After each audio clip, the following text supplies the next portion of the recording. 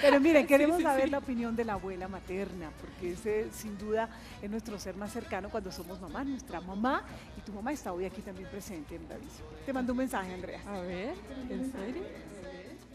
Hijita, no podía faltarlo en esta celebración, en este homenaje tan lindo que te están haciendo. Te estás estrenando como mamá y has sabido hacerlo extraordinariamente bien. Felicitaciones, mi amor. Estamos felices con nuestra nietecita, nuestra princesa Emilia. Nos ha traído muchas alegrías a nuestras vidas, a los abuelos, a la tía Carito, a los primos.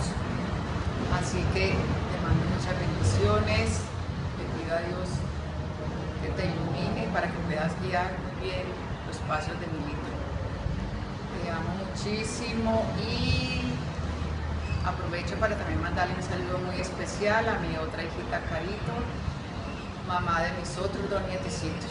Gracias, gracias, gracias hijitas. Nos han traído muchas alegrías.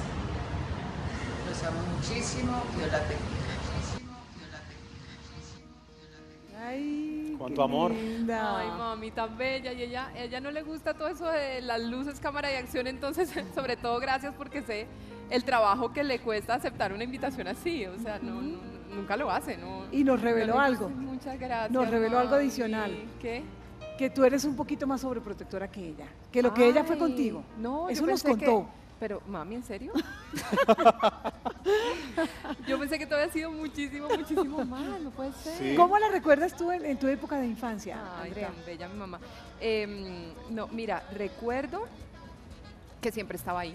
Pues, siempre, siempre, Llegabas del colegio ahí estaba. Llegamos del colegio, ahí estaba, la recuerdo en, en cada momento haciendo las tareas, por ejemplo, o sea, ella siempre estuvo como muy pendiente en la parte académica y apoyándonos y explicándonos y, y- y- y nos recitaba mucho, yo no sé si por eso tengo buena memoria, porque como que nos recitaba y nos recitaba todo el tiempo las tablas, las, no sé, lo que nos tuviéramos que aprender em, para las tareas y para los trabajos. Y, y eso es como lo que más recuerdo, sobre todo la presencia Qué bonito. en cada instante. Siempre, siempre, siempre estuvo ahí en la casa con nosotros. Qué bonito. Quizás ese lado sobreprotector era porque tú eras la mayor de tus hermanos. Sí, eh, pues ella, ella me dice que, obviamente uno no lo recuerda, pues, pero cuando, cuando yo estaba bebecita hace Hace muy 15, poco. 16 años, 17, 18. eh, Sí, no vamos a entrar en eh, detalle ni más sí, faltaba. Sí, sí, sí. Em, eh, estaba, mejor dicho, ni al baño, pues, to- todo el tiempo, todo el tiempo eh, en esta emoción de- del primer bebecito. Ahora, si ella me ve que yo soy un poco más, wow, entonces soy mucho. Pero es que tú tienes lo que, lo que nos contabas ahora, tienes la, la rutina, eh, está el momento especial del baño, está el momento de la dormida. ¿Cómo es el momento de la dormida con Emilia cuando, cuando la vas a, a dormir, Andrea? Mira, a ella no le gusta dormir mucho en el día, pero Mejor. eso sí, si ella en el día, de la siesta que está haciendo hasta ahora, eh, que ya se levantará sobre 10 y media, 11 de la mañana más o menos, eh, en la tarde, si acaso media horita, 40 minutos y pare de contar. He oído que muchos bebés dos, tres horas y por la tarde hacen una siesta muy larga, ella no, ella no se quiere perder de nada.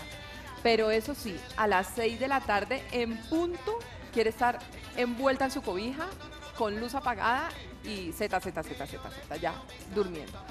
Eh, el momento de la dormida, pues bueno, va- antes eh, un baño muy breve, como refrescante.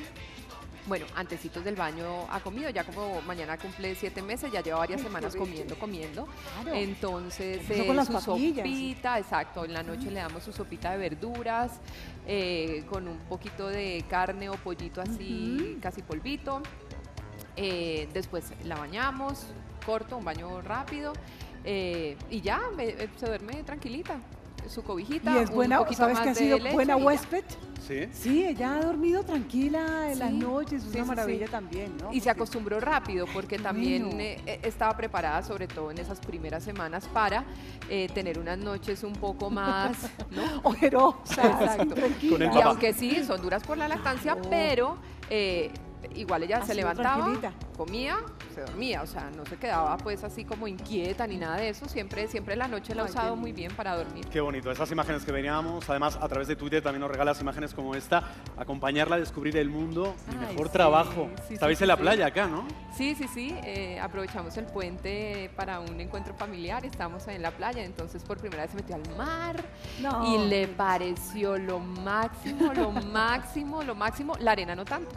No, No, es se la comía, ¿no? Me imagino. No, no, no, como que la senté ahí cuando, cuando estaba en la foto, la senté como para que sintiera textura y un ratico jugó así como con los taloncitos Sí. y todo, pero después como que yo creo que, ay, esto me está incomodando y como, ah, y yo dije, bueno, vamos paso a paso, un poquito nomás y después volvemos a, a intentarlo. Bueno. Y como Andrea dice, pues ha sido un suceso, sin duda, en toda la familia, el tema de Emilia.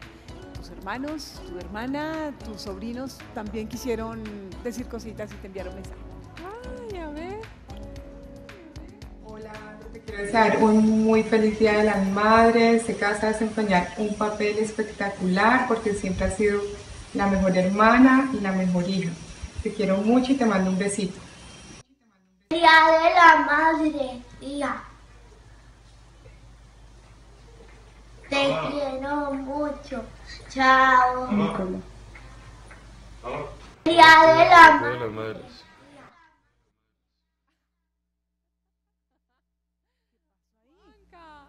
Se nos Bueno, quedó.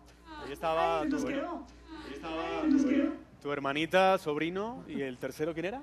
Eh, mi sobrino también. ¿También? eh, ¿Dos sobrinos? Mi sobrino mayor, Juanca. No, no lo puedo creer. O sea, les juro que son. O sea, eh, Juanca, eh, mi sobrino mayor, reservado, pausado, eh, eh, tímido, diría yo. Bueno, Niquito sí es un poco así más, más Divino, extrovertido. divino. Pero mi hermana también es. O sea, no, no le juega mucho esto de las cámaras porque no. Lo no- hemos conseguido, Mónica. pero Saludito para totalmente. Ay, Andrea. muchas gracias Andrea, a todos. tan Tú habías sido una excelente tía y uno se imagina que ese es el amor más grande, pero cuando llegan los hijos todo cambia, ¿no? O sea, dicen que realmente se estrena como totalmente el corazón y es una, una emoción muy grande. Vamos a volver con Andrea Serna en segunditos porque hay todavía mucho tema por hablar. Está haciendo unas giras maravillosas y queremos seguir recordando aquí en Bravísimo porque inicialmente tú te veías como una economista en tu vida. Yo no puedo creerlo, Andrea.